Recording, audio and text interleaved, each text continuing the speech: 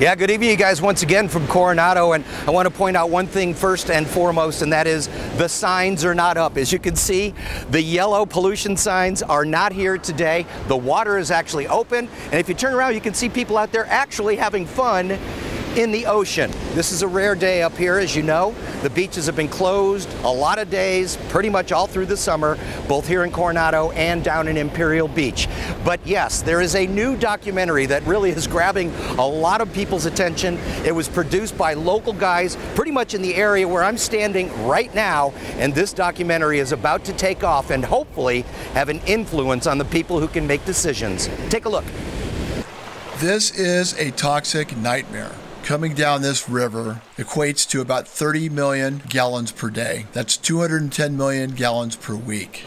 900 million gallons per month. This is a documentary that is long overdue, in fact, more than 50 years in the making. But for the first time, the Tijuana sewage crisis is captured like never before. It's to say, hey, look, we need help. This needs to be taken care of. This is a ticking time bomb. This is not a joke. Using their own time, money, and expertise, a handful of Coronado residents have become environmental activists, and this documentary has become their weapon. The movie is The Big Dump, our Pacific Ocean in crisis. It's going to do a lot of things, this little documentary. Even though this won't be shown to the public until the Coronado Film Festival in November, the producers have been working hard behind the scenes on private showings to influential people. So here's what we're going to do next. We're trying to get the 15 or 18 mayors of the whole San Diego County to come to one showing together, all together, with this big energy. In the community itself, the energy to fix this crisis is growing by the day. Most of the adults understand this crisis, but the producers are now reaching out to the public schools, hoping to teach the next generation the ABCs of what's happening down here. If we go to every school child in San Diego and every superintendent and every principal and every teacher, and I know everybody cares about our environment, how beautiful San Diego is.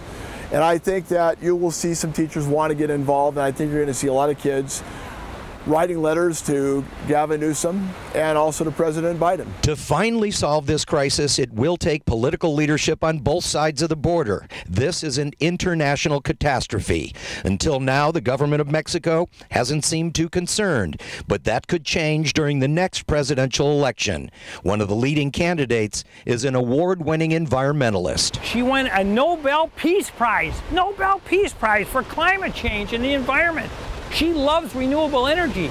These old presidents that they've had down there all these years, they don't know anything about renewable energy, and she has this in her DNA. She is going to be the one. Claudia Sheinbaum, remember that name.